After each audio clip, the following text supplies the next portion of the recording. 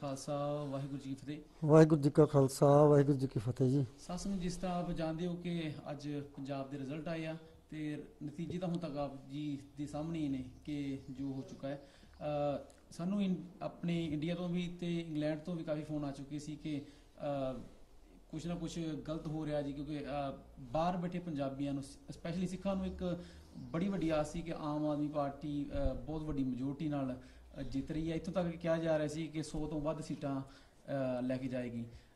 ਪਰ ਰਿਜ਼ਲਟ ਜੋ ਆਏ ਨੇ ਉਹ ਬਹੁਤ ਹੀ ਉਲਟ ਆਏ ਨੇ। ਸੋ ਸਾਨੂੰ ਇੱਕ ਕਾਫੀ ਬੇਨਤੀ ਕੀਤੀ ਗਈ ਸੰਗਤਾਂ ਵੱਲੋਂ ਕਿ ਸਰਦਾਰ ਸੁੱਚਾ ਸਿੰਘ ਛੋਟੇਪੁਰ ਜੀ ਕੋ ਜਰੂਰ ਇੰਟਰਵਿਊ ਕੀਤੀ ਜਾਵੇ ਕਿ ਜੋ ਹਾਲਾਤ ਬਣੇ ਆ, ਉਹ ਕਿਉਂ ਬਣੇ ਆ। ਸੋ ਆਓ ਉਹਨਾਂ ਨਾਲ ਗੱਲਬਾਤ ਕਰਦੇ ਹਾਂ ਜੀ। ਵਾਹਿਗੁਰੂ ਜੀ ਕਾ ਖਾਲਸਾ ਵਾਹਿਗੁਰੂ ਜੀ ਕੀ ਫਤਿਹ ਜੀ। ਹਾਂਜੀ ਸਰਦਾਰ ਸੁੱਚਾ ਸਿੰਘ ਜੀ ਆਪ ਜੀ ਦਾ ਸਵਾਗਤ ਹੈ ਸਿੱਖ ਚੈਨਲ ਤੇ ਜੀ। ਜੀ ਜੀ ਅ, ਆਪਾਂ ਸ਼ੁਰੂ ਕਰ ਲਈਏ ਕਿ ਆਪ ਜੀ ਨੇ ਬਹੁਤ ਕੰਮ ਕੀਤਾ ਆਮ ਆਦਮੀ ਪਾਰਟੀ ਨੂੰ ਖੜਾ ਕਰਨ ਤੇ ਪੰਜਾਬ ਵਿੱਚ। ਤੇ ਇੱਕ ਸੁਪਨਾ ਸੀ ਕਿ ਨੈਸ਼ਨਲ ਲੈਵਲ ਦੀ ਪਾਰਟੀ ਬਣੇ। ਪਰ ਜੋ ਪੰਜਾਬ ਦੇ ਰਿਜ਼ਲਟ ਆਏ ਉਹ ਕੋਈ ਬਾਲੇ ਵਧੀਆ ਨਹੀਂ ਆ ਆਮ ਆਦਮੀ ਦੇ ਹੱਕ ਵਿੱਚ। ਤੇ ਇੱਕ ਜਿਹੜੀ ਸੁਪਨਾ ਸੀ ਕਈਆਂ ਦਾ ਕਿ ਇੱਕ ਥਰਡ ਫਰੰਟ ਚਾਹੀਦਾ ਇੰਡੀਆ ਲੈਵਲ ਤੇ ਪੰਜਾਬ 'ਚ ਨਹੀਂ ਕਿ ਇੰਡੀਆ ਲੈਵਲ ਤੇ। ਉਹਨੂੰ ਇੱਕ ਬਹੁਤ ਵੱਡੀ ਸੱਟ ਲੱਗੀ ਹੈ ਜੀ। ਸੋ ਮੈਂ ਆਪ ਜੀ ਕੋ ਪੁੱਛਣਾ ਚਾਹੂੰਗਾ ਕਿ ਕੁਝ ਹਫ਼ਤਿਆਂ ਜਾਂ ਮਹੀਨਿਆਂ ਪਹਿਲਾਂ ਜੋ ਹਾਲਾਤ ਬਣੇ ਅ, ਉਦੋਂ ਸ਼ਾਇਦ ਸੰਗਤਾਂ ਨੂੰ ਕੁਝ ਹੋਰ ਦਿਸਦਾ ਸੀ। ਤਾਂ ਅੱਜ ਤੁਸੀਂ ਕੀ ਕਹਿਣਾ ਚਾਹੋਗੇ ਇਸ ਬਾਰੇ ਜੀ? ਉਹ ਦੇਖੋ ਇਹ 'ਚ ਕੋਈ ਸ਼ੱਕ ਨਹੀਂ ਕਿ ਪੰਜਾਬ ਦੇ ਲੋਕ ਵੀ ਤੀਜਾ ਫਰੰਟ ਚਾਹੁੰਦੇ ਸੀਗੇ ਔਰ ਦੇਸ਼ ਦੇ ਲੋਕ ਵੀ ਸ਼ਾਇਦ ਤੀਜਾ ਫਰੰਟ ਚਾਹੁੰਦੇ ਸੀ ਇਹਦੇ 'ਚ ਕੋਈ ਦੋ ਰਹਿਵਾਂ ਨਹੀਂ ਗਈਆਂ। ਔਰ ਜਿਸ ਤਰ੍ਹਾਂ ਪਾਰਲੀਮੈਂਟ ਦੀ ਇਲੈਕਸ਼ਨ ਦੇ ਵਿੱਚ 2015 ਦੇ ਵਿੱਚ ਜਿਸ ਤਰ੍ਹਾਂ ਦੇ ਪੰਜਾਬ ਦੇ ਲੋਕਾਂ ਨੇ ਰਿਜ਼ਲਟ ਦਿੱਤੇ ਸੀਗੇ ਅਹ 2014 ਦੇ ਵਿੱਚ, ਉਹਦੇ ਤੋਂ ਵੀ ਇਹ ਜਾਪਦਾ ਸੀ ਕਿ ਪੰਜਾਬ ਦੇ ਲੋਕ ਜਿਹੜੇ ਆ, ਉਹ ਹਮੇਸ਼ਾ ਪਰਿਵਰਤਨ ਵਾਸਤੇ ਪਹਿਲ ਕਰਦੇ ਆਏ ਆ। ਔਰ ਬਾਹਰ ਦੀਆਂ ਬੈਠੀਆਂ ਸੰਗਤਾਂ ਦਾ ਵੀ ਆਮ ਆਦਮੀ ਪਾਰਟੀ ਦੇ ਨਾਲ ਬਹੁਤ ਸੰਯੋਗ ਕੀਤਾ, ਬਹੁਤ ਲੋਕਾਂ ਨੇ ਧਨ ਦੌਲਤ ਵੀ ਭੇਜਿਆ, ਆਪਣੀਆਂ ਗੁੱਡ ਵਿਸ਼ੇਸ ਵੀ ਭੇਜੀਆਂ। ਔਰ ਉਸ ਵੇਲੇ ਪਾਰਟੀ ਬੜੇ ਜ਼ੋਰ ਸ਼ੋਰ ਨਾਲ ਅਸੀਂ ਸਾਰੇ ਕੰਮ ਕਰ ਰਹੇ ਸੀਗੇ, ਪਾਰਟੀ ਦੀ ਮੈਨੂੰ ਜ਼ਿੰਮੇਵਾਰੀ ਦਿੱਤੀ ਸੀ। ਮੈਂ ਦਿਨ ਰਾਤ ਜਦੋਂ ਕਿ ਮੇਰੀ ਪਾਰਟੀ ਦੇ ਨੇ ਮੈਨੂੰ ਕੋਈ ਵੀ ਅਕਾਊਂਟ ਨਹੀਂ ਸੀ ਖੋਲਣ ਦਿੱਤਾ, ਸਾਰਾ ਪੈਸਾ ਦਿੱਲੀ ਖੜਦੇ ਸੀ। ਮੇਰੀ ਪਾਰਟੀ ਨੇ ਕੋਈ ਮੈਨੂੰ ਪੈਸਾ ਨਹੀਂ ਦਿੱਤਾ। ਮੈਂ ਆਪਣੇ ਸੋਰਸ ਪੰਜਾਬ ਦੇ ਵਿੱਚ ਆਪਣੇ ਸੱਜਣਾ ਮਿੱਤਰਾਂ ਨੂੰ ਐਨ ਆਰ ਆਈ ਨੂੰ ਲੋਕਲ ਲੋਕਾਂ ਨੂੰ ਮਿਲ ਕੇ ਤੇ ਅਸੀਂ ਡੇਢ ਦੋ ਸਾਲ ਗੱਡੀ ਚਲਾਈ, ਜਿਹਦੇ ਵਿੱਚ ਮੈਂ 22 ਲੱਖ ਰੁਪਈਆ ਆਮ ਆਦਮੀ ਪਾਰਟੀ ਨੂੰ ਜਦੋਂ ਅਸੈਂਬਲੀ ਦੀ ਚੋਣ ਸੀ ਦਿੱਲੀ ਉੱਥੇ ਦੇ ਕੇ ਆਇਆ ਸੀਗਾ। 7 ਲੱਖ ਜਿਹੜੇ ਸਾਡੇ ਤਿੰਨ ਬੱਚੇ ਸ਼ਹੀਦ ਹੋ ਗਏ ਸੀ ਆਮ ਆਦਮੀ ਪਾਰਟੀ ਦੇ ਸਰਕਾਰੀ ਜ਼ੁਲਮ ਕਰਕੇ।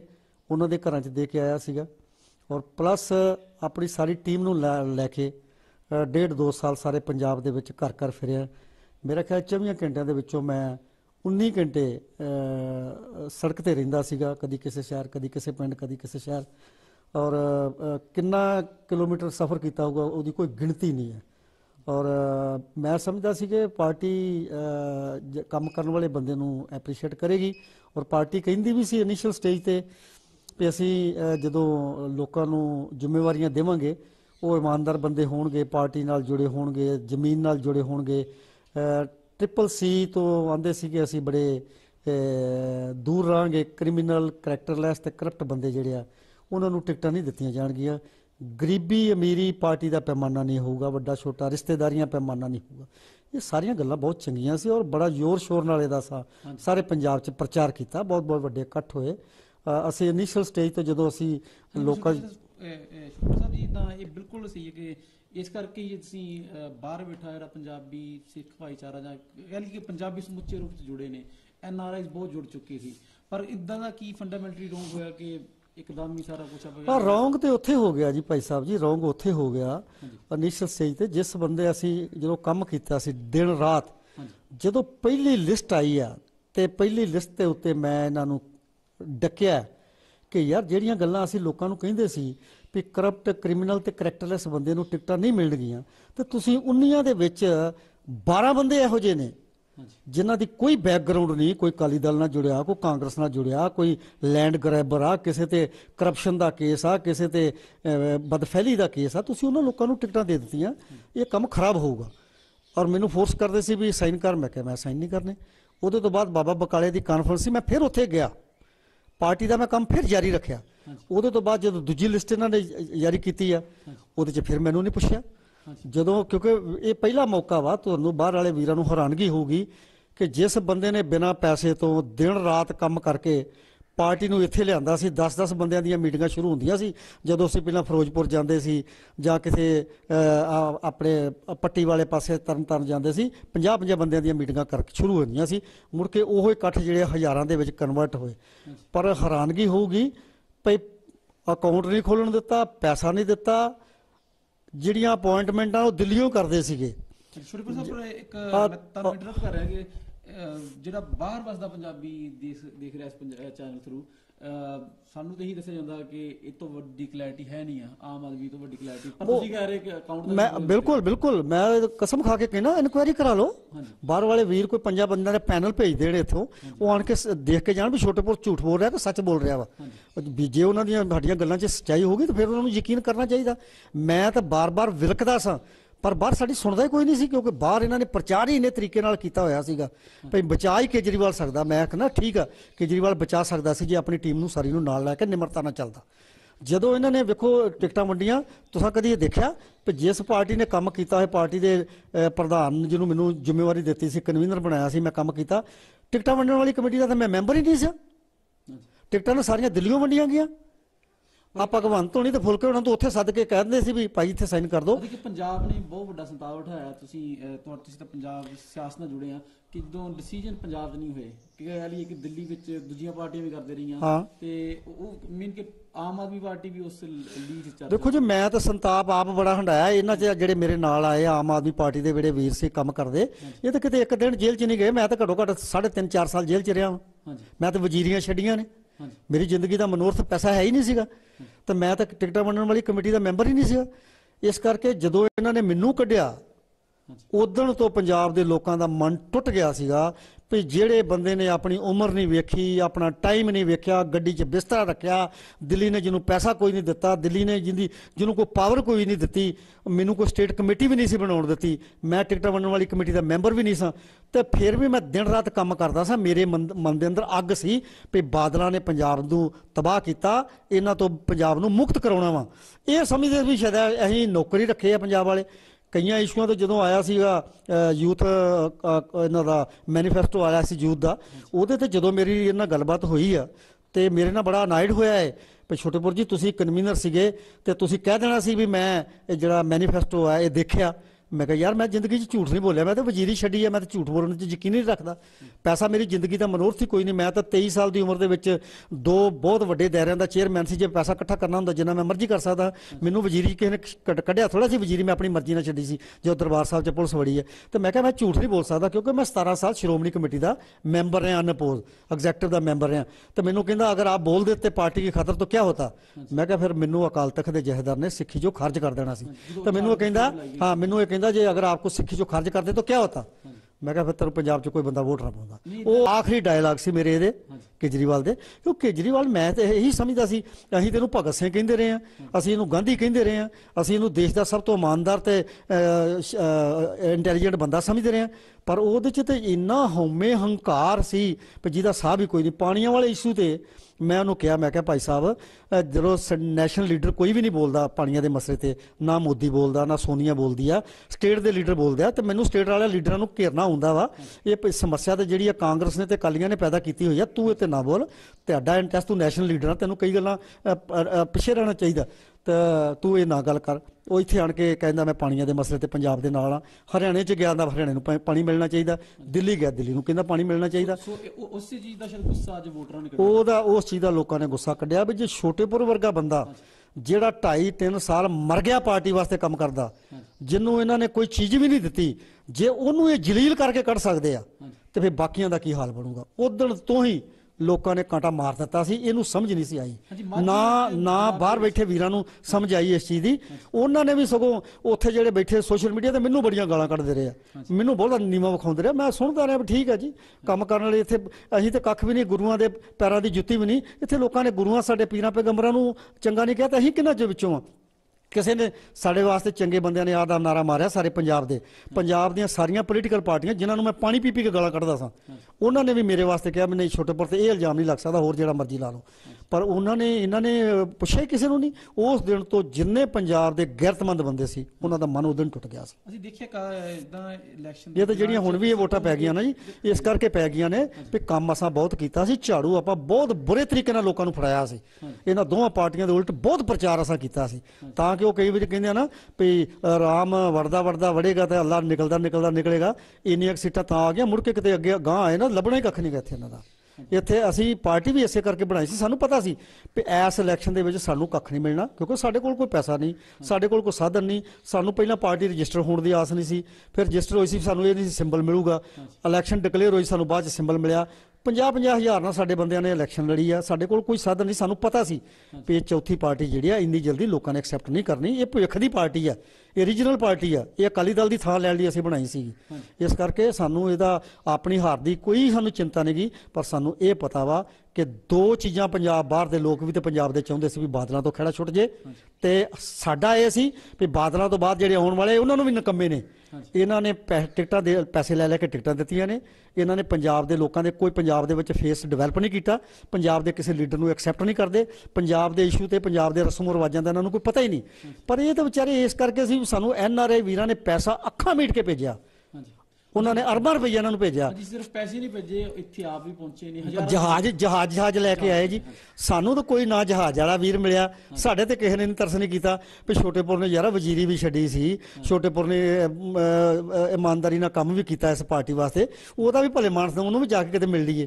ਇਸ ਕਰਕੇ ਮੇਰੇ ਤਾਂ ਮਨ ਨੂੰ ਠੀਕ ਆ, ਸਾਨੂੰ ਆਪਣੀ ਪਾਰਟੀ ਹਲੀ ਏਡੀ ਜਲਦੀ ਨਹੀਂ ਆ ਸਕੇ ਉਹਦਾ ਸਾਨੂੰ ਦੁੱਖ ਜ਼ਰੂਰ ਆ, ਪਰ ਪੰਜਾਬ ਦੇ ਲੋਕਾਂ ਦਾ ਫੈਸਲਾ, ਪਰ ਸਾਨੂੰ ਖੁਸ਼ੀ ਆ ਕਿ ਬਾਦਲਾਂ ਤੋਂ ਮੁਕਤ ਹੋ ਗਿਆ ਪੰਜਾਬ ਤੇ ਇਹ ਜਿਹੜੇ ਲਟੇਰੇ ਲੁੱਟਣ ਆਏ ਸੀ, ਜਿਹੜੇ ਬਰੂਪੀਏ ਸੀ, ਜਿਨ੍ਹਾਂ ਨੇ ਸ਼ੇਰ ਦੀ ਖਲ ਪਾ ਕੇ ਆਪਣੇ ਆਪ ਨੂੰ ਸ਼ੇਰ ਦੱਸਣ ਦੀ ਕੋਸ਼ਿਸ਼ ਕੀਤੀ ਸੀ, ਉਹਨਾਂ ਦਾ ਵੀ ਪਾਜ ਨੰਗਾ ਹੋ ਗਿਆ, ਪੰਜਾਬ ਬਚ ਗਿਆ।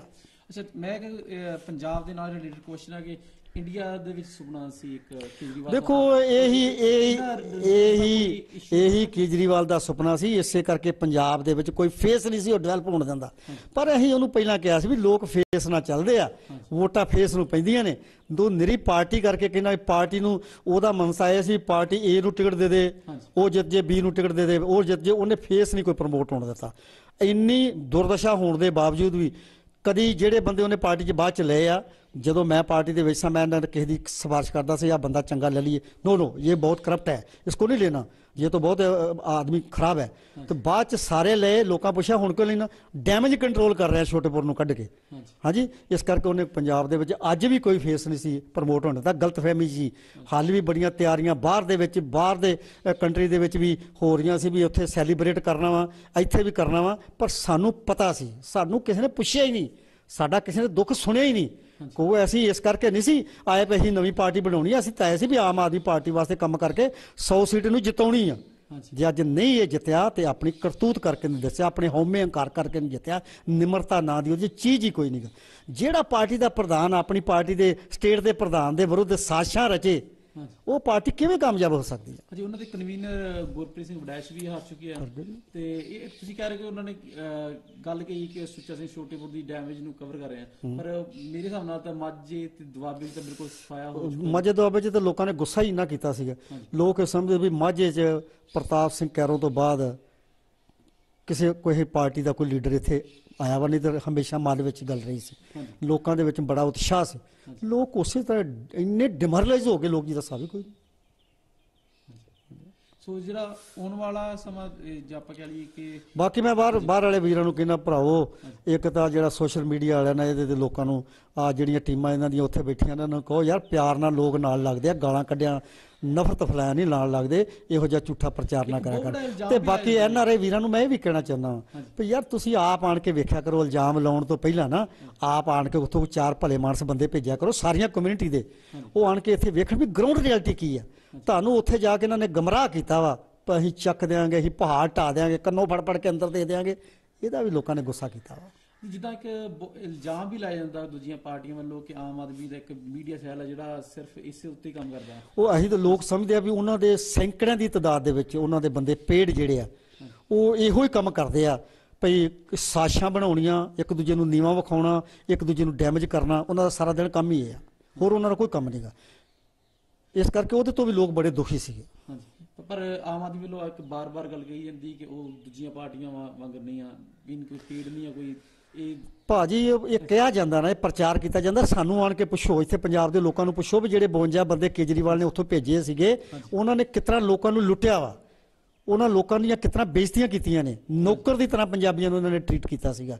ਇਸ ਕਰਕੇ ਲੋਕਾਂ ਦੇ ਮਨ 'ਚ ਗੁੱਸਾ ਸੀਗਾ ਮੋ ਲੋਕਾਂ ਦੇ ਮਨ 'ਚ ਨਫ਼ਰਤ। ਜਿੱਦਣ ਲੋਕਾਂ ਨੂੰ ਉਹਨਾਂ ਦੀ ਅਸਲੀਅਤ ਦਾ ਪਤਾ ਲੱਗ ਗਿਆ ਲੋਕ ਪਿੱਛੇ ਹਟਣੇ ਸ਼ੁਰੂ ਹੋ ਗਏ ਸੀ।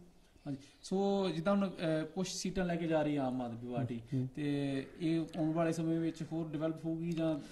ਇਹ ਹਾਂਜੀ। 6 ਮਹੀਨੇ ਬਾਅਦ ਆਮ ਆਦਮੀ ਪਾਰਟੀ ਨਾਂ ਦਾ ਪੰਜਾਬ 'ਚ ਕੋਈ ਚੀਜ਼ ਨਹੀਂ ਹੋਊਗੀ। ਇਹ ਤਾਂ ਦਿੱਲੀ 'ਚ ਕਿਸ ਹੋਊਗਾ ਜੀ ਇਹਨਾਂ ਰਿਜ਼ਲਟਸ ਦਾ? ਦਿੱਲੀ ਦਾ ਇਹਦੇ ਤਾਂ ਬਹੁਤ ਬੈਡ ਅਸਰ ਪੈਣਾ ਐਮਸੀ ਦੀਆਂ ਚੋਣਾਂ 'ਚ ਤੁਸੀਂ ਦੇਖ ਲਿਓ। ਦਿੱਲੀ ਦੇ ਵਿੱਚ ਇਹਨਾਂ ਦਾ ਸਵਾਇਆ ਹੋਣਾ ਜਰਨੈਲ ਸਿੰਘ ਵਾਲੀ ਸੀਟ ਦੀ ਚੋਣ ਹੋਣੀ ਹੈ ਨਾ। ਜਰਨੈਲ ਸਿੰਘ ਨੂੰ ਉੱਥੋਂ ਰਿਜ਼ਾਈਨ ਕਰਾ ਕੇ ਭੇਜਿਆ ਸੀ। ਪਹਿਲੀ ਗੱਲ ਤਾਂ ਵੇਖੋ ਨਾ ਵੀ ਜਰਨੈਲ ਸਿੰਘ ਨੂੰ ਉੱਥੋਂ ਰਿਜ਼ਾਈਨ ਕਰਾ ਕੇ ਭੇਜਣ ਦੀ ਕੀ ਲੋੜ ਸੀ? ਪੰਜਾਬ ਦੇ ਵਿੱਚ ਕੋਈ ਬੰਦਾ ਲੜਨ ਵਾਲਾ ਹੈ ਨਹੀਂ ਸੀਗਾ। ਹਾਂਜੀ। ਇਹ ਇਹ ਤਾਂ ਸਮਝਦੇ ਸੀ ਵੀ ਅਸੀਂ ਦਿੱਲੀੋਂ ਜਿੰਨੂੰ ਮਰਜ਼ੀ ਭੇਜ ਦਈਏ। ਇਹ ਇਹ ਇਸੇ ਕਰਕੇ ਮੁੱਖ ਮੰਤਰੀ ਦਾ ਕੈਂਡੀਡੇਟ ਅੱਜ ਤੱਕ ਵੀ ਇਹਨਾਂ ਨੇ ਹੀ ਸਥਾਪਿਆ ਵੀ ਕੇਜਰੀਵਾਲ ਨੂੰ ਅਸੀਂ ਲਿਆਉਣਾ, ਜਿੱਦਾਂ ਉੱਥੇ ਸ਼ਿਸ਼ੋਦੀਏ ਨੂੰ ਡਿਪਟੀ ਚੀਫ ਮਿਨਿਸਟਰ ਬਣਾ ਕੇ ਇੱਥੇ ਕੋਈ ਡੰਮੀ ਜਿਹਾ ਬੰਦਾ ਬਣਾ ਦਾਂਗੇ। ਪੰਜਾਬ ਦੇ ਲੋਕ ਨਹੀਂ ਪਸੰਦ ਕਰਦੇ। ਪੰਜਾਬ ਬਾਰਡਰ ਸਟੇਟ ਆ, ਬਹਾਦਰ ਲੋਕਾਂ ਦੀ ਸਟੇਟ ਆ। ਕੱਲਾ ਇੱਕ ਪੰਜਾਬ ਦੇ ਵਿੱਚ ਸੂਬਾ ਵਾ, ਜਿੱਥੇ ਇਹ ਮਿਨੋਰਟੀ ਰਹਿੰਦੀ ਹੈ। ਇੱਥੇ ਜਦੋਂ ਵੀ ਕੋਈ ਬੰਦਾ ਆਉਂਦਾ ਵਾ ਉਹ ਸਿੱਖ ਫੇਸ ਇੱਥੇ ਦੇਣਾ ਪੈਂਦਾ। ਉਹ ਕਿਸੇ ਨੇ ਵੇਖਿਆ ਨਹੀਂ ਇਸ ਪਾਸੇ? ਹਾਂਜੀ ਜਿੱਦਾਂ ਭਗਵੰਤ ਮਾਨ ਜੀ ਦਾ ਇੱਕ ਸੀ ਅਸੀਂ ਆਪਣੀ ਇੱਕ ਟੀਮ ਬਿਠਾਈ ਸੀ ਜਲਾਲਾਬਾਦ 'ਚ ਕਿ ਇੱਕ ਉੱਥੇ ਉਲਟ ਫੇਰ ਹੋ ਸਕਦਾ। ਪਰ ਰਿਜ਼ਲਟ ਬਿਲਕੁਲ ਉਹਦੇ ਆਪੋਜ਼ਿਟ ਗਏ ਆ ਜੀ ਤੇ ਉਹ- ਸੋ ਵੇਖੋ ਭਗਵੰਤ ਮਾਨ ਦਾ ਠੀਕ ਹੈ ਇੱਕ ਵਾਰੀ ਉੱਥੇ ਸੰਗਰੂਰ ਚ ਦਾ ਲੱਗ ਗਿਆ ਸੈਲੀਬ੍ਰਿਟੀ ਸੀਗੇ ਲੋਕ ਸੁਣਨ ਆਉਂਦੇ ਸੀ ਲੋਕ ਕਾਂਗਰਸ ਤੋਂ ਵੀ ਤੇ ਕਾਲੀਆਂ ਤੋਂ ਤੰਗ ਸੀਗੇ। ਪਰ ਭਗਵੰਤ ਦੇ ਵੇਖੋ ਉਹ ਸੈਲੀਬ੍ਰਿਟੀ ਰਹਿੰਦਾ ਉਹਦੀ ਇੱਜ਼ਤ ਜ਼ਿਆਦਾ ਸੀ। ਉਹਨੇ ਜਿੰਨੀਆਂ ਜੋ ਕੁਝ ਕੀਤਾ ਵਾ ਕਹਿੰਦਾ ਜੀ ਮੈਂ ਕਾਨਫਰੰਸਾਂ ਬੜੀਆਂ ਕੀਤੀਆਂ ਕਾਨਫਰੰਸਾਂ ਦਾ ਅਸਰ ਉਹਨੀਆਂ ਤਾਂ ਕਿੰਨਾ ਕੁ ਹੋਇਆ ਵਾ? ਬਾਕੀ ਇਹ ਉਹ ਉਹ ਸ਼ਰਾਬ ਛੱਡ ਨਹੀਂ ਸਕਦਾ ਇਹ ਉਹਦੇ ਵੱਸ ਦੀ ਗੱਲ ਨਹੀਂਗੀ ਮੈਂ ਕਦੀ ਕਿਸੇ ਦੇ ਉਲਟ ਮਾੜਾ ਨਹੀਂ ਕਹਿੰਦਾ ਮੈਨੂੰ ਤਾਂ ਚਾਚਾ ਕਹਿ ਕੇ ਬੁਲਾਉਂਦਾ ਸੀ ਪਰ ਮੈਂ ਬੜੇ ਹੱਥ ਜੋੜੇ ਉਹਨੂੰ ਵੀ ਇਹ ਕੰਮ ਛੱਡ ਦੇ ਜੇ ਤੂੰ ਪਬਲਿਕ ਲਾਈਫ ਦੇ ਵਿੱਚ ਆਇਆ ਲੋਕ ਬੜਾ ਲੀਡਰ ਨੂੰ ਮਨਿਊਟਲੀ ਦੇਖਦੇ ਆ। ਹਾਂਜੀ। ਉਹ ਲੀਡਰ ਰੋਲ ਮਾਡਲ ਹੁੰਦਾ। ਤੇ ਨਹੀਂ ਉਹਦੀ ਉਹਦੀ ਮਜਬੂਰੀ ਆ ਥੋੜੇ ਦਿਨ ਪਹਿਲਾਂ ਤੁਸੀਂ ਦੇਖਿਆ ਫਿਰ ਲੰਟਾ ਮਾਲ ਦੇ ਵਿੱਚ ਉਦੋਂ ਉਹਦੇ ਗਨਮੈਨ ਫੜ ਫੜ ਕੇ ਉਹਨੂੰ ਲਈ ਜਾਂਦੇ ਸੀ। ਸੋ ਪੰਜਾਬ ਦੇ ਲੋਕ ਜਿਹੜੇ ਆ ਨਾ ਇੱਕ ਪਾਸੇ ਅਸੀਂ ਨਸ਼ਾ ਛਡਾਉਣ ਦੀਆਂ ਗੱਲਾਂ ਕਰਦੇ ਆ ਇੱਕ ਪਾਸੇ ਅਸੀਂ ਨਸ਼ੇ ਦੀ ਆਪ ਵਰਤੋਂ ਕਰਦੇ ਉਹ ਗੱਲ ਨਹੀਂ ਖੰਡਨ ਕੀਤਾ ਗਿਆ ਸੀ ਵੈਸੇ ਪਰ ਚਲੋ ਇਹ- ਇਹਦੇ ਬਾਰੇ ਸਾਡੀ ਕੋਈ ਰਿਸਰਚ ਨਹੀਂ ਪਰ ਤੁਸੀਂ ਕਹਿ ਰਹੇ ਹੋ ਕਿ ਮੇਰੀ ਤਾਂ ਰਿਸਰਚ ਹੈ ਜੀ ਮੈਂ ਤਾਂ ਜ਼ਿੰਦਗੀ ਦਾ ਨਸ਼ੇ ਦਾ ਸਵਾਦ ਨਹੀਂ ਦੇਖਿਆ। ਮੈਨੂੰ ਤਾਂ ਤੁਸੀਂ ਗੁਰਦੁਆਰੇ ਵੀ ਜਾ ਕੇ ਕਹੋਗੇ ਨਾ ਦਰਬਾਰ ਸਾਹਿਬ ਦੇ ਸਾਹਮਣੇ ਖਲੋ ਕੇ ਕਹੋਗੇ ਸੱਚ ਬੋਲੋ ਜੋ ਮੈਂ ਇੱਥੇ ਬੋਲਦਾ ਉਹ ਇੱਥੇ ਬੋਲਾਂਗਾ। ਹਾਂਜੀ। ਸੋ ਤੁਸੀਂ ਕਹਿ ਰਹੇ ਹੋ ਕਿ ਇਹਨਾਂ ਜਿਹੜੇ ਰਿਜ਼ਲਟ ਆਇਆ ਇਹਨਾਂ ਦਾ ਦਿੱਲੀ ਤੇ ਤੇ ਦੇਸ਼ ਭਰ ਦੇ ਅਸਰ ਲੋਕ ਵੇਖੋ ਜਿਹੜਾ ਇਹ ਨੈਸ਼ਨਲ ਪੋਲਿਟਿਕਸ 'ਚ ਜੰਪ ਕਰਨਾ ਚਾਹੁੰਦਾ ਸੀ ਉਹਦਾ ਸੁਪਨਾ ਖਤਮ ਹੋ ਗਿਆ। ਹਾਂਜੀ। ਸੋ ਹੁਣ ਕੋਈ ਇਹਦਾ ਥਾਂ ਕੋਈ ਹੋਰ ਪਾਰਟੀ ਲੈ ਲੇਗੀ। ਇਹਦਾ ਜਿਹੜੀਆਂ ਗੱਲਾਂ ਸੀ ਨਾ ਵੀ ਇੱਥੋਂ ਮਾਲ ਮਤਾ ਖੜ ਕੇ ਮੈਂ ਗੁਜਰਾਤ ਜਾਊਂਗਾ ਗੋਆ ਜਾਊਂਗਾ ਗੋਆ 'ਚ ਵੀ ਖਾਤਾ ਨਹੀਂ ਖੁੱਲਿਆ। ਹਾਂਜੀ। ਆ ਗੋਆ ਚ ਇੱਕ ਬਹੁਤ ਵੱਡੀ ਆਸ ਸੀ ਕਿ ਗੋਆ ਚ ਰਿਜ਼ਲਟ ਹੋਣਗੇ। ਯੂਪੀ ਵਿੱਚ ਵੀ ਨਹੀਂ ਖਾਤਾ ਮੇਰੇ ਹਿਸਾਬ ਨਾਲ ਜੀ ਵੇਖੋ ਜਿਹੜਾ ਬੰਦਾ ਬੇਈਮਾਨ ਹੁੰਦਾ ਨਾ। ਜਿਹੜਾ ਪੈਸੇ ਦਾ ਪੁਜਾਰੀ ਹੁੰਦਾ ਪਾਵਰ ਹੰਗਰੀ ਹੁੰਦਾ ਜਿਹੜਾ ਸਰਬੱਤ ਦਾ ਭਲਾ ਨਹੀਂ ਨਾ ਮੰਗਦਾ ਆਪਣਾ ਹੀ ਭਲਾ ਮੰਗਦਾ ਮੈਂ ਹੀ ਰੱਖਦਾ ਮੈਂ ਹੀ ਆ ਤਾਂ ਸਭ ਕੁਝ ਆ। ਉਹ ਬੰਦਾ ਕਦੀ ਵੀ ਕਾਮਯਾਬ ਨਹੀਂ ਹੋ ਸਕਦਾ। ਪੋਲਿਟਿਕਸ ਵਿੱਚ ਆਉਣ ਲਈ ਬੜੀ ਹਲੀਮੀ ਚਾਹੀਦੀ ਹੈ ਬੜੀ ਨਿਮਰਤਾ ਚਾਹੀਦੀ ਆ ਟੀਮ ਵਰਕ ਕਰਨਾ ਚਾਹੀਦਾ ਸਾਰਿਆਂ ਨੂੰ ਨਾਲ ਲੈ ਕੇ ਚੱਲਣ ਦੀ ਆਦਤ ਹੋਣੀ ਚਾਹੀਦੀ ਉਹ ਹੈ ਹੀ ਨਹੀਂ ਉਹ 'ਚ। ਉਹ ਤਾਂ ਸਾਜ਼ਿਸ਼ਾਂ ਰਚਦਾ ਇੱਕ ਦੂਜੇ ਨੂੰ ਡੈਮੇਜ ਕਰ ਲਈ ਕਦੀ ਕਿਸੇ ਦੀ ਵੀਡੀਓ ਬਣਾ ਲਈ ਕਦੀ ਕਿਸੇ ਦੀ ਵੀਡੀਓ ਬਣਾ ਲਈ ਕੰਮ ਕੰਮ ਨਹੀਂ। ਜਿੱਦਾਂ ਜੇ ਤੁਸੀਂ ਕਹਿ ਰਹੇ ਕਿ ਸਾਜ਼ਿਸ਼ਾਂ ਰਚੀਆਂ ਜਾਂਦੀਆਂ ਜਿੱਦਾਂ ਹੁਣ ਵੱਡੇ ਵੱਡੇ ਥੰਮ ਡਿੱਗੇ ਅੱਜ ਆਪਣੇ ਆਮ ਆਦਮੀ ਪਾਰਟੀ ਦੇ। ਸ਼ੇਖਲ ਸਾਹਿਬ ਜਾਂ ਗੁਰ- ਗੁਰਪ੍ਰੀਤ ਸਿੰਘ ਜੀ ਭਗਵੰਤ ਮਾਨ ਕੀ ਇਹ ਵੀ ਕਿਸ ਸਾਜ਼ਿਸ਼ ਦਾ ਸ਼ਿਕਾਰ ਹੋਏ ਆ ਜੀ ਜਾਂ ਦੇਖੋ ਇਹਨਾਂ ਨੇ ਵੀ ਕੋਈ ਮੈਂ ਸਮਝਦਾ ਕਿ ਕੋਈ ਸਿਆਣੇ ਬੰਦਿਆਂ ਵਾਲਾ ਰੋਲ ਨਹੀਂ ਕੀਤਾ। ਤਿੰਨ ਚਾਰ ਨਾਂ ਜਿਹੜੇ ਇਹਨਾਂ ਚੋਂ ਦੋ ਕੁ ਜਿੱਤ ਵੀ ਗਏ ਆ ਫੁਲਕਾ ਸਾਹਿਬ ਤੇ ਆਪਣਾ ਖੈਰਾ ਸਾਹਿਬ। ਇਹ ਮਚੋੜ ਆਦਮੀ ਸੀ ਸਿਆਣੇ ਬੰਦੇ ਸੀ। ਜਿਸ ਦਿਨ ਉਹਨਾਂ ਨੇ ਆਪਣੇ ਨਾਲ ਗੱਲ ਕੀਤੀ ਸੀ ਇਹਨਾਂ ਨੂੰ ਚਾਹੀਦਾ ਸੀ ਉਹਨੂੰ ਵੀ ਸਮਝਾਉਣਾ ਵੀ ਕੀ ਕਰਨ ਡਿਆ ਹੋਇਆ। ਹਾਂਜੀ। ਆਪਣੀ ਪਾਰਟੀ ਨੂੰ ਆਪ ਹੀ ਡੈਮੇਜ ਕਰਕੇ ਤੁਸੀਂ ਸੁਪਨੇ ਲੈਣ ਡਿਆ ਵੀ ਪੰਜਾਬ 'ਚ ਜਿੱਤ ਜਾਵਾਂਗੇ। ਵਿਰੋਧੀਆਂ ਨੂੰ ਤੇ ਕੋਈ ਚੀਜ਼ ਚਾਹੀਦੀ ਸੀ ਇਹੋ ਜੀ ਜਦੋਂ ਤੂੰ ਆਪ ਹੀ ਇਹੋ ਜਿਹੀਆਂ ਗੱਲਾਂ ਮੈਂ ਵੀ ਪਹਿਲਾਂ ਸੋਚਦਾ ਸੀ ਵੀ ਸ਼ਾਇਦ ਇਹ ਥੱਲੇ ਥੱਲੇ ਕਿਸੇ ਲੈਵਲ ਦੀ ਇਹ ਸ਼ਰਾਰਤਾਂ ਹੋ ਰਹੀਆਂ ਨੇ। ਜਦੋਂ ਗੁਰਲਾਬ ਨੇ ਇਨਕਸ਼ਾਫ ਹੀ ਕਰਤਾ ਵੀ ਕੇਜਰੀਵਾਲ ਨੇ ਖੁਦ ਕਿਹਾ ਸਾਨੂੰ ਹਾਂਜੀ। ਤੇ ਛੋਟੇਪੁਰੀ ਸਾਡੇ ਰਸਤੇ ਦਾ ਰੋੜਾ ਵਾ ਸਾਡੇ ਕੋਲ ਟਿਕਟਾਂ ਵੀ ਮੰਗੂਗਾ ਸਾਨੂੰ ਖਰਾਬ ਵੀ ਕਰੂਗਾ ਤੇ ਇਹਨੂੰ ਪਾਸੇ ਕਰ।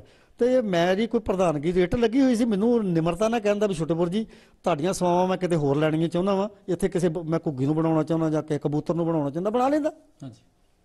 ਪਰ ਜਿਸ ਤਰੀਕੇ ਨਾਲ ਉਹਨੇ ਮੈਨੂੰ ਡੈਮੇਜ ਕਰਨ ਦੀ ਪੋਲੀਟੀਕਲ ਦੀ ਕੋਸ਼ਿਸ਼ ਕੀਤੀ ਸੀ, ਉਹ ਮੇਰੇ ਵਾਸਤੇ ਅਸਹਿ ਸੀ, ਕਿਉਂਕਿ ਮੈਂ 40 45 ਸਾਲ ਦੇ ਪੋਲੀਟੀਕਲ ਕੈਰੀਅਰ ਦੇ ਵਿੱਚ ਕਿਸੇ ਕੋ ਉਂਗਲ ਨਹੀਂ ਕਰਾਈ। ਹਾਂਜੀ। ਸਾਹਿਬ, ਮੈਂ ਇੱਕ ਮੇਰੇ ਮਿੱਤਰਾਂ ਨਾਲ ਗੱਲ ਉਹ ਵੀ ਆਮ ਆਦਮੀ ਦੇ ਸਪੋਰਟਰ ਬਹੁਤ ਵਾਰ।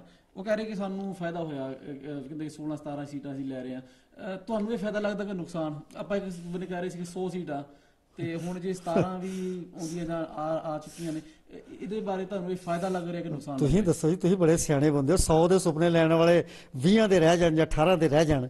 ਨੁਕਸਾਨ ਨਹੀਂ ਤੇ ਕੀ ਹੈ? ਹਾਂਜੀ। ਇਹ ਤੇ ਬਸ਼ਰਮੀ ਆ। ਹਾਂਜੀ। ਆਪਣੇ ਮਨ ਨੂੰ ਤਾਂ ਤਸੱਲੀ ਦੇਣ ਵਾਲੀ। ਇੱਕ ਸਾਨੂੰ ਬਾਹਰ ਬੈਠੇ ਪੰਜਾਬੀਆਂ ਨੂੰ ਇੱਕ ਸੀ ਕਿ ਸਿੱਖ ਭਾਈਆਂ ਨੂੰ ਸਾਰੇ ਕੋ ਆਪਾਂ ਹਿੰਦੂ ਸੀ ਸਿੱਖ ਸੀ ਕਿ ਪੰਜਾਬ 'ਚ ਇੱਕ ਬਦਲ ਚਾਹੀਦਾ ਕਿ ਜੋ ਲੁੱਟਿਆ ਗਿਆ ਵਾ ਉਹੀ ਪਾਰਟੀਆਂ ਦੋ ਉਹ ਥਰਡ ਫਰੰਟ ਉੱਠਣਾ ਚਾਹੀਦਾ ਸੀ ਉੱਠਿਆ ਵੀ। ਪਰ ਉਹ ਦੇਖੋ ਉੱਠਿਆ ਸੀ ਉੱਠਿਆ ਸੀ ਉਹ ਗੁੱਡ ਡਿਲੀਵਰ ਨਹੀਂ ਕਰ ਸਕਿਆ। ਸਾਰਿਆਂ ਨੂੰ ਨਾਲ ਲੈ ਕੇ ਟੀਮ ਵਰਕ ਕੰਮ ਨਹੀਂ ਕਰ ਸਕਿਆ। ਉਹਨੇ ਜੇ ਸਾਨੂੰ ਇਸ ਤਰ੍ਹਾਂ ਸਾਜ਼ਿਸ਼ ਕਰਕੇ ਨਾ ਕੱਢਦਾ।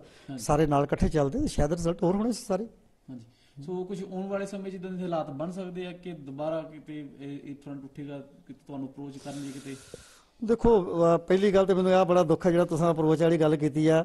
ਮੀਡੀਆ 'ਚ ਕਹਿੰਦੇ ਰਿਹਾ ਵੀ ਛੋਟੇਪੁਰ ਨੂੰ ਮਿਲਣ ਗਏ ਆ। ਮੈਨੂੰ ਕੋਈ ਬੰਦਾ ਮਿਲਣ ਨਹੀਂ ਆਇਆ। ਕਮੇਟੀ ਬਣਾਈ ਇੱਕ ਉਹ ਆਈਐਸ ਅਫਸਰ ਸੀਗਾ ਉਹਦਾ ਨਾਮ ਪਤਾ ਨਹੀਂ ਕੀ ਸੀਗਾ। ਤਾਂ ਇੱਕ ਇਹਦਾ ਹੈਗਾ ਜਰਨੈਲ ਸਿੰਘ ਦਾ। ਜਰਨੈਲ ਸਿੰਘ ਅਮਰਧਾਰੀ ਬੰਦਾ। ਉਹਨੇ ਸਟੇਟਮੈਂਟ ਦਿੱਤੀ ਅਖਬਾਰ 'ਚ ਵੀ ਅਸੀਂ ਛੋਟੇਪੁਰ ਨੂੰ ਮਿਲ ਕੇ ਆਏ ਹਾਂ ਛੋਟੇਪੁਰ ਮੈਨੂੰ ਜੱਫੀ ਪਾ ਕੇ ਮਿਲਿਆ। ਸਾਡਾ ਬੜਾ ਅੱਛੇ ਮਾਹੌਲ ਦੇ ਵਿੱਚ ਗੱਲ ਹੋਈ ਹੈ। ਹਕੀਕਤ ਇਹ ਹੈ ਮੈਂ ਕੈਮਰੇ ਦੇ ਸਾਹਮਣੇ ਕਹਿਣਾ ਚਾਹੁੰਦਾ ਬਾਹਰ ਦੇ ਬੰਦਿਆਂ ਦੇ ਵੀ ਜਰਨੈਲ ਸਿੰਘ ਮੈਨੂੰ ਮਿਲਣ ਆਇਆ ਹੀ ਨਹੀਂ ਕਦੀ ਵੀ। ਹਾਂਜੀ। ਜਰਨੈਲ ਸਿੰਘ ਦੀ ਸ਼ਕਲ ਵੇਖਿਆ ਨੂੰ ਮੈਨੂੰ ਲਾਗੋਂ 6 ਮਹੀਨੇ ਹੋ ਗਏ ਹੋਣਗੇ। ਜਦੋਂ ਅ- ਅੰਮ੍ਰਿਤਧਾਰੀ ਬੰਦੇ ਇਸ ਤਰ੍ਹਾਂ ਦਾ ਝੂਠ ਬੋਲਦੇ ਆ ਫਿਰ ਉਹ ਪਾਰਟੀ ਕਿਵੇਂ ਚੱਲ ਸਕਦੀ ਹੈ? ਕੋਈ ਮੈਨੂੰ ਸ਼ੋਅ ਕਾਰਡ ਨੋਟਿਸ ਨਹੀਂ ਦਿੱਤਾ ਕੋਈ ਮੈਨੂੰ ਮਿਲਣ ਨਹੀਂ ਆਇਆ ਤੇ ਝੂਠੀਆਂ ਸਾਰੀਆਂ ਗੱਲਾਂ ਕਰਦੇ ਰਹੇ ਆ। ਇਹਨੇ ਉਹ ਅਸਲ 'ਚ ਉਹ ਚਾਹੁੰਦਾ ਸੀਗਾ ਵੀ ਮੈਂ ਐਡਾ ਵੱਡਾ ਸਟੋਕ ਮਾਰਾਂ ਵੀ ਮੈਂ ਅੱਗੇ ਜੋਗਿੰਦਰ ਯਾਦਵ ਕੱਢਤਾ ਪ੍ਰਸ਼ਾਂਤ ਭੂਸ਼ਣ ਕੱਢ ਦਿੱਤਾ ਗਾਂਧੀ ਹੁਣੀ ਕੱਢਤੇ ਆ ਖਾਲਸੇ ਹੁਣੀ ਕੱਢ ਦਿੱਤੇ ਆ। ਕੋਈ ਬੋਲਿਆ ਨਹੀਂ ਤੇ ਇਹ ਕੀ ਹੈ ਨਿਕਾ ਜਿਹਾ ਬੰਦਾ ਇਹਨੂੰ ਮੈਂ ਚੱਕ ਕੇ ਬਾਹਰ ਮਾਰਨਾ ਉਹਦਾ ਮੈਸੇਜ ਭਗਵੰਤ ਵਾਸਤੇ ਵੀ ਚੱਲ ਜਾਣਾ ਖਾਲਸ ਆਪਣੇ ਫੁਲਕੇ ਵਾਸਤੇ ਵੀ ਚੱਲ ਜਾਣਾ ਵੀ ਕੋਈ ਬੰਦਾ ਮੁੜ ਕੇ ਮੇਰੇ ਸਾਹਮਣੇ ਬੋਲਣ ਦੀ ਹਿੰਮਤ ਨਹੀਂ ਕਰੂਗਾ। ਡੰਮੀ ਰਹਿਣਗੇ ਜਿਹਨੂੰ ਮੈਂ ਕਹਾਂਗਾ ਇੱਥੇ ਗੁੱਠਾ ਲਾ ਦਿਓ ਲਾ ਦਿਆ ਕਰਨਗੇ। ਹਾਂਜੀ। ਤੇ ਇਹ ਤੇ ਪੰਜਾਬ ਦੇ ਲੋਕਾਂ ਨੇ ਉਸੇ ਦਿਨ ਹੀ ਮੈਂ ਦੇਖ ਲਿਆ ਸੀ ਪੰਜਾਬੀ ਕਈ ਬੰਦਿਆਂ ਨੇ। ਮੇਰਾ ਖਿਆਲ ਪੰਜਾਬ ਦੇ ਵਿੱਚ ਉਦੋਂ ਸੈਂਕੜੇ ਬੰਦੇ ਸੀ। ਜਿਨ੍ਹਾਂ ਨੇ ਮੈਨੂੰ ਟੈਲੀਫੋਨ ਤੇ ਕਿਹਾ ਵੀ ਅਸੀਂ ਰੋਟੀ ਨਹੀਂ ਖਾਧੀ। ਵੀ ਅਸੀਂ ਛੋਟੇਪੁਰ ਵਰਗਾ ਬੰਦਾ ਜਿਹੜਾ ਦਿਨ ਰਾਤ ਪਾਰਟੀ ਵਾਸਤੇ ਹੱਥ ਜੋੜਦਾ ਫਿਰਦਾ ਸੀ ਉਹਨੂੰ ਇਹਨਾਂ ਨੇ ਜਲੀਲ ਕਰਨ ਦੀ ਕੋਸ਼ਿਸ਼ ਕੀਤੀ ਤੇ ਬਾਕੀਆਂ ਨੂੰ ਕੀ ਕਰਨਗੇ? ਮੈਂ ਤਾਂ ਉਦੋਂ ਹੀ ਸਮਝ ਗਿਆ ਸੀ ਕਿਉਂਕਿ ਮੈਂ 40 ਸਾਲ ਦਾ ਪੋਲਿਟਿਕਸ ਸੀ ਪਰ ਲੋਕਾਂ ਦਾ ਮਨ ਟੁੱਟ ਗਿਆ। ਹਾਂਜੀ ਆਉਣ ਵਾਲੇ ਸਮੇਂ ਵਿੱਚ ਜਿੱਦਾਂ ਪੰਜਾਬੀ ਫਿਰ ਗੈਰ ਮਾਨਤਾ ਚਾਹੇ ਜਿੱਤੇ ਨੇ ਕੁਝ ਕੈਂਡੀਡੇਟ ਆਉਣ ਵਾਲੇ ਸਮੇਂ ਵਿੱਚ ਆਮ ਆਦਮੀ ਚ ਆਵਾਜ਼ ਉੱਠ- ਉੱਠੇਗੀ ਕੁਝ ਪਤਾ ਨਹੀਂ ਜੀ ਇਹ ਹੁਣ ਇਹ ਤਾਂ ਹੁਣ ਆਮ ਆਦਮੀ ਪਾਰਟੀ ਦੱਸ ਦੱਸ ਸਕਦੀ ਹੈ ਉਹਨਾਂ ਬਾਰੇ ਮੈਂ ਕੀ ਵੀਰ ਕਹਿ ਸਕਦਾ। ਮੈਂ ਤਾਂ ਇਹ ਕਹਿ ਸਕਦਾ ਕਿ 6 ਮਹੀਨਿਆਂ ਬਾਅਦ ਪੰਜਾਬ ਦੇ ਹਾਲਾਤ ਸਾਰੇ ਹੋਰ ਹੋਣਗੇ। ਸੋ ਜੋ ਅੱਜ ਰਿਜ਼ਲਟ ਆਏ ਆ ਉਹਦੇ ਬਾਰੇ ਦੇਖੋ ਪੰਜਾਬ ਦੇ ਲੋਕਾਂ ਦਾ ਫੈਸਲਾ ਵਾ ਪੰਜਾਬ ਦੇ ਲੋਕਾਂ ਨੇ ਕੈਪਟਨ ਅਮਰਿੰਦਰ ਸਿੰਘ ਤੇ ਭਰੋਸਾ ਕੀਤਾ ਕਿਉਂਕਿ captain Amarinder Singh as a man Congress party ਨੂੰ ਤੇ ਕੋਈ ਬੰਦਾ ਵੀ ਅਸੀਂ ਪੰਜਾਬ ਦੇ ਬੰਦੇ ਚੰਗੇ ਨਹੀਂ ਕਹਿ ਸਕਦੇ ਜਿਹਨੇ ਬਲੂ ਸਟਾਰ ਆਪਰੇਸ਼ਨ ਵਰਗਾ ਕਰਾਇਆ ਤੇ ਪੰਜਾਬ ਦਿੱਲੀ ਦੇ ਵਿੱਚ ਇੰਨਾ ਕੁਝ ਕਰਾਇਆ। ਪਰ ਕੈਪਟਨ ਅਮਰਿੰਦਰ ਸਿੰਘ ਨੇ ਉਦੋਂ ਵੀ ਵਜ਼ੀਰੀ ਵੀ ਛੱਡੀ, ਉਹਨੇ ਕਰਕੇ ਛੱਡਿਆ, ਲੋਕਾਂ ਦਾ ਉਹਦੇ ਨਾਲ ਉਹਦੇ ਤੇ ਥੋੜਾ ਬਹੁਤਾ ਵਿਸ਼ਵਾਸ ਸੀਗਾ ਤਾਂ ਹੀ ਲੋਕਾਂ ਨੇ ਏਡਾ ਵੱਡਾ ਮੈਂਡੇਟ ਉਹਨੂੰ ਦਿੱਤਾ। ਔਰ ਲੋਕ ਆਸ ਕਰਦੇ ਆ ਵੀ ਉਹ ਬੰਦਾ ਦੂਜਿਆਂ ਨਾਲੋਂ ਬੈਠਾ। ਜੇ ਤੁਸੀਂ ਇੱਕ ਗੱਲ ਕਹਿ ਕੇ ਕਿ ਫੇਸ ਚਾਹੀਦਾ ਸੀ ਆਮ ਆਦਮੀ ਨੂੰ ਇੱਕ ਕਾਂਗਰਸ ਤੋਂ ਇੱਕ ਫੇਸ ਸੀ ਕੈਪਟਨ ਅਮਰਿੰਦਰ ਸਿੰਘ। ਬਾਦਲ ਦਾ ਉਹਨਾਂ ਕੋਲ ਫੇਸ ਸੀਗਾ। ਇਹਨਾਂ ਨੇ ਫੇਸ ਹੀ ਨਹੀਂ ਕੋਈ ਬਣਦਾ ਇਹਨਾਂ ਫੇਸ ਨਹੀਂ ਬਣ ਦਿੱਤਾ ਜੀ। ਕਿਉਂਕਿ ਜੋ ਗਲਤੀਆਂ ਕਹਿ ਲਈ ਕਿ ਪੰਜਾਬੀਆਂ ਨੂੰ ਬਿਲਕੁਲ ਪਿੱਛੇ ਸੁੱਟਣ ਦੀ ਕੋਸ਼ਿਸ਼ ਬਿਲਕੁਲ। ਪੰਜਾਬੀਆਂ ਨੂੰ ਨਾ ਤਾਂ ਪੰਜਾਬੀ ਨੂੰ ਅੰਡਰਸਟੈਂਡ ਕਰਦੇ ਆ ਨਾ ਪੰਜਾਬੀਆਂ ਦੇ ਜਜ਼ਬਾਤ ਸਮਝਦੇ ਆ ਨਾ ਪੰਜਾਬੀਆਂ ਦੇ ਕਲਚਰ ਨੂੰ ਸਮਝਦੇ ਆ। ਹਾਂਜੀ। ਤੇ ਇਹ ਤਾਂ ਸਿਰਫ ਇਹ ਸਮਝਦੇ ਸੀਗੇ ਵੀ ਅਸੀਂ ਸਾਡੇ ਕੋਲ ਹੇਰਾ ਫੇਰੀਆਂ 'ਚ ਬਹੁਤ ਐਕਸਪਰਟ ਨੇ। ਇਹ 네ਗੇਟਿਵ ਗੱਲ ਨੂੰ ਪੋਜ਼ਿਟਿਵ 'ਚ ਕਨਵਰਟ ਕਰਨ ਵਾਸਤੇ ਬੜੀਆਂ ਗੱਲਾਂ ਕਰਦੇ ਆ ਮੀਡੀਆ 'ਚ ਬਹੁਤ ਰਹਿੰਦੇ ਆ। ਸੋਸ਼ਲ ਮੀਡੀਆ ਦੇ ਸਿਰ ਤੇ ਸਮਝਦੇ ਸੀ ਵੀ ਅਸੀਂ ਸਾਰਿਆਂ ਨੂੰ ਗੁੰਮਰਾਹ ਕਰ ਜਾਵਾਂਗੇ। ਹਾਂਜੀ ਅਖੀਰ ਵਿੱਚ ਤੁਸੀਂ ਸਾਡੇ ਜਿਹੜੇ ਬਾਹਰ ਵਸਦੇ ਪੰਜਾਬੀ ਭਾਈਚਾਰਾ ਜਾਂ ਐਨ ਆਰ ਆਈ ਭਾਈਚਾਰਾ ਉਹਨਾਂ ਨੂੰ ਕੋਈ ਸੰਦੇਸ਼ ਦੇਣਾ ਚਾਹੋਗੇ ਜੀ? ਮੈਂ ਇਹੀ ਉਹਨਾਂ ਨੂੰ ਬੇਨਤੀ ਕਰਨਾ ਚਾਹਾਂਗਾ ਠੀਕ ਆ ਉਹਨਾਂ ਦੇ ਵੀ ਮਨ ਨੂੰ ਸੱਟ ਲੱਗੀ ਆ। ਭਈ ਉਹਨਾਂ ਨੇ ਬੜਾ ਪੈਸਾ ਖਰਚਿਆ ਬੜੀਆਂ ਐਫਰਟਸ ਕੀਤੀਆਂ ਬੜੀਆਂ ਉਹਨਾਂ ਦੀਆਂ ਗੁੱਡ ਵਿਸ਼ੇਸ ਸੀਗੀਆਂ। ਉਹ ਚਾਹੁੰਦੇ ਸੀ ਤਬਦੀਲੀ ਆਏ। ਪਰ ਮੈਂ ਉਹਨਾਂ ਨੂੰ ਇਹ ਕਹਾਂਗਾ ਵੀ ਜਿੱਦਣ ਸਾਡੇ ਨਾਲ ਇਹ ਕੁਝ ਹੋਇਆ ਸੀਗਾ ਤੁਸੀਂ ਕੋਈ ਡੈਲੀਗੇਸ਼ਨ ਭੇਜ ਦਿਓ ਉਧਰੋਂ। ਆਣ ਕੇ ਗਰਾਊਂਡ ਰਿਐਲਿਟੀ ਵੇਖ ਕੇ ਜਾਂਦਾ। ਵੀ ਇਹਨਾਂ ਬੰਦਿਆਂ ਦੇ ਨਾਲ ਕੀ ਕੀਤਾ ਵਾ? ਤਾਂ ਉਹਨੂੰ ਸਮਝਾ ਕੇ ਜਾਂਦੇ ਵੀ ਭਾਈ ਐਸ ਰਾਏ ਤੁਰੇਗਾ ਤਾਂ ਪੰਜਾਬੀ ਇਹ ਗੱਲਾਂ ਨਹੀਂ ਬਰਦਾਸ਼ਤ ਕਰਦੇ ਕਿ ਭਈ ਇੱਕ ਬੰਦਾ ਬਾਹਰੋਂ ਆਣ ਕੇ ਕਿਸੇ ਪੰਜਾਬੀ ਦੀ ਚੰਗੇ ਭਲੇ ਬੰਦੇ ਦੀ ਇਸ ਤਰ੍ਹਾਂ ਬਿਜ਼ਤ ਕਰਕੇ ਉਹਨੂੰ ਪੋਲੀਟੀਕਲੀ ਡੈਮੇਜ ਕਰਨ ਦੀ ਕੋਸ਼ਿਸ਼ ਕਰੇ। ਇਹਨਾਂ ਗੱਲਾਂ ਨਾਲ ਕਰਕੇ ਤੂੰ ਪੰਜਾਬ 'ਚ ਸਰਵਾਈਵ ਨਹੀਂ ਕਰ ਸਕਦਾ। ਇਹ ਚਾਹੀਦਾ ਸੀ। ਫਿਰ ਜਦੋਂ ਉਹਨਾਂ ਨੇ ਪੈਸਾ ਭੇਜਿਆ ਜਹਾਜ਼ ਭੇਜਿਆ ਇਹਦੇ ਤੋਂ ਪਹਿਲਾਂ ਆਣ ਕੇ ਗਰਾਊਂਡ ਰਿਐਲਿਟੀ ਵੇਖਣੀ ਚਾਹੀਦੀ ਸੀ ਵੀ ਇੱਥੇ ਗਰਾਊਂਡ ਰਿਐਲਿਟੀ ਕੀ ਹੈ। ਇਹਨਾਂ ਨੇ ਜੋ ਪ੍ਰਚਾਰ ਕਰਕੇ ਬਾਹਰ ਦੇ ਲੋਕਾਂ ਨੂੰ ਗਮਰਾਹ ਕੀਤਾ ਸੀ ਲੋਕਾਂ ਨੂੰ ਲੁੱਟ ਲਿਆ ਪੰਜਾਬ 'ਚ ਵੀ ਲੁੱਟ ਲਿਆ ਉੱਥੋਂ ਵੀ ਲੁੱਟ ਲਿਆ। ਪੰਜਾਬ ਦੇ ਵਿੱਚ ਆਮ ਆਦਮੀ ਪਾਰਟੀ ਦੇ ਹਜ਼ਾਰਾਂ ਵਰਕਰ ਡਿਪਰੈਸ਼ਨ ਦੇ ਮਰੀਜ਼ ਨੇ ਇਸ ਵੇਲੇ, ਜਿਨ੍ਹਾਂ ਦੇ ਕੋਲ ਪੈਸੇ ਲੱਲੇ ਸੀ, ਜਿਨ੍ਹਾਂ ਨੂੰ ਪੁੱਛਿਆ ਹੀ ਕਿਸੇ ਨੇ ਨਹੀਂ। ਜਿਨ੍ਹਾਂ ਨੂੰ ਕਹਿੰਦੇ ਸੀ, ਕੁਲਫੀਆਂ ਵੇਚਣ ਵਾਲਿਆਂ ਨੂੰ ਟਿਕਟਾਂ ਦੇਵਾਂਗੇ ਪੈਂਚਰ ਲਾਉਣ ਵਾਲਿਆਂ ਨੂੰ ਟਿਕਟਾਂ ਦੇਵਾਂਗੇ, ਗਰੀਬ ਬੰਦਿਆਂ ਨੂੰ ਟਿਕਟਾਂ ਦੇਵਾਂਗੇ, ਉਹਨਾਂ ਨੂੰ ਬੰਦਿਆਂ ਨੂੰ ਪੁੱਛਿਆ ਉਹਨਾਂ ਕੋਲ ਜੋ ਜੋ ਪੂੰਜੀ ਸੀ, ਸਾਰੀ ਉਹਨਾਂ ਲਾ ਦਿੱਤੀ ਸੀ ਵੀ ਸਾਡੀ ਵਾਰੀ ਆ ਜਾਣੀ ਹੈ, ਗਰੀਬਾਂ ਨੂੰ ਟਿਕਟਾਂ ਮਿਲ ਜਾਣੀਆਂ। ਉਹ ਵਿਚਾਰੇ ਉੱਜੜ ਗਏ। ਪੰਜਾਬ ਦੇ ਵਿੱਚੋਂ ਘੱਟ ਤੋਂ ਘੱਟ ਵੀ 5-600 ਕਰੋੜ ਰੁਪਈਆ ਪੰਜਾਬ ਦੇ ਲੋਕਾਂ ਕੋਲ ਇਹਨਾਂ ਨੇ ਗਰਾਇਆ ਵਾ। ਤੇ ਬਾਹਰੋਂ ਕਿੰਨਾ ਕਰਾਇਆ ਉਹ ਤਾਂ ਐਨ ਆਰ ਏ ਵੀਰ ਜਾਣਦੇ ਮੈਨੂੰ ਤਾਂ ਐਨ ਆਰ ਏ ਵੀਰਾਂ ਦਾ ਬਹੁਤਾ ਮੇਰਾ ਕਦੀ ਵਾਸਤਾ ਪਿਆ ਨਹੀਂਗਾ ਨਾ ਮੈਂ ਕਦੀ ਬਾਹਰ ਬਹੁਤਾ ਗਿਆ ਹੀ ਆ ਤੇ ਮੈਂ ਤਾਂ ਇਹ ਉਹਨਾਂ ਨੂੰ ਇਹੀ ਬੇਨਤੀ ਕਰਾਂਗਾ ਕਿ ਭਰਾਓ ਠੀਕ ਆ ਤੁਹਾਨੂੰ ਪੰਜਾਬ ਦੀ ਚਿੰਤਾ ਹੈ ਕੋਈ ਦੋ ਰਹਿਵਾ ਨਹੀਂ ਵੀ ਬਾਹਰ ਬੈਠਾ ਐਨ ਆਰ ਏ ਵੀਰ ਜਿਹੜਾ ਅਕਾਲੀਆਂ ਦੇ ਕੰਮਾਂ ਤੋਂ ਬੀਜੇਪੀ ਦੇ ਇਹਨਾਂ ਦੇ ਕੰਮਾਂ ਤੋਂ ਬਹੁਤ ਦੁਖੀ ਸੀ ਉਹ ਤਬਦੀਲੀ ਚਾਹੁੰਦੇ ਸੀਗੇ। ਪਰ ਉਹਨਾਂ ਦੀਆਂ ਖਾਸ਼ਾਂ ਦੇ ਮੁਤਾਬਕ ਇਹ ਗੱਲ ਨਹੀਂ ਬਣੀ ਕਿਉਂਕਿ ਗਰਾਊਂਡ ਰਿਐਲਿਟੀ ਕੁਝ ਹੋਰ ਸੀਗੇ। ਉਹ ਵੀਰ ਅੱਖਾਂ ਮੀਟ ਕੇ ਮਦਦ ਕਰਦੇ ਆ, ਜਿਹਦੀ ਕਰਦੇ ਆ। ਅਸੀਂ ਉਹਨਾਂ ਨੂੰ ਬੇਨਤੀ ਕਰਨੇ ਆ, ਇਹਨਾਂ ਦੇ ਵੀਰਾਂ ਨੂੰ ਵੀ ਮਦਦ ਕਰੋ, ਲੋਕਾਂ ਦੇ ਇੱਥੇ ਗਰੀਬਾਂ ਦੇ ਨਿਆਣੇ ਪੜਾਓ ਤਾਂ ਕਿ ਜਦੋਂ ਬੱਚੇ ਪੜ੍ਹ ਲਿਖ ਜਾਣ, ਉਹਨਾਂ ਨੂੰ ਸੂਝ-ਬੂਝ ਹੋਏ, ਉਹ ਪੰਜਾਬ ਦੇ ਭਵਿੱਖ ਦਾ ਫੈਸਲਾ ਕਰ ਸਕਣ। ਅੰਨੇਵਾਹ ਕਿਸੇ ਇੱਕ ਬੰਦੇ ਦੇ ਮਗਰ ਪੈਸੇ ਨਾ ਲਾਇਆ ਕਰੋ, ਇੱਥੇ ਕਮੇਟੀ ਭੇਜਿਆ ਕਰੋ। ਤੁਹਾਡੀ ਦਸਾਂ ਨੌਹਾਂ ਦੀ ਕਿਰਤ ਕਮਾਈ ਆ, ਤੁਹਾਡੇ ਕੋਲ ਲੁੱਟਮਾਰ ਦਾ ਮਾਲ ਨਹੀਂਗਾ, ਮੈਨੂੰ ਪਤਾ। ਮੈਂ ਇੱਕ ਅੱਧੇ ਕੰਟਰੀ 'ਚ ਜਾ ਕੇ ਦੇਖਿਆ ਬਹੁਤ ਮਿਹਨਤ ਕਰਨੀ ਪੈਂਦੀ ਆ ਬਾਹਰ। ਅੱਖਾਂ ਮੀਟ ਕੇ ਸਾਰਾ ਕੁਝ ਨਾ ਕਰਿਆ ਕਰੋ ਆਣ ਕੇ ਇੱਥੇ ਕੋਈ ਆਪਣੇ ਬੰਦੇ ਭੇਜ ਕੇ ਗਰਾਊਂਡ ਰਿਐਲਿਟੀ ਵੇਖਿਆ ਕਰੋ ਤੇ ਫਿਰ ਕੋਈ ਗੱਲ ਸੁਣਿਆ ਕਰੋ। ਮੈਨੂੰ ਵੀ ਬੜਾ ਦੁੱਖ ਹੁੰਦਾ ਸੀ ਜਦੋਂ ਯਾਰ ਮੈਂ 40 45 ਸਾਲ ਇਮਾਨਦਾਰੀ ਨਾਲ ਕੱਟਿਆ ਤੇ ਮੈਨੂੰ ਚੋਰ ਚੋਰ ਚੋਰ ਚੋਰ ਕਹਿ ਕਹਿ ਕੇ ਇਹਨਾਂ ਕੀਤਾ ਤੇ ਮੇਰੀ ਆਤਮਾ ਸੜੀ ਪਈ ਸੀ।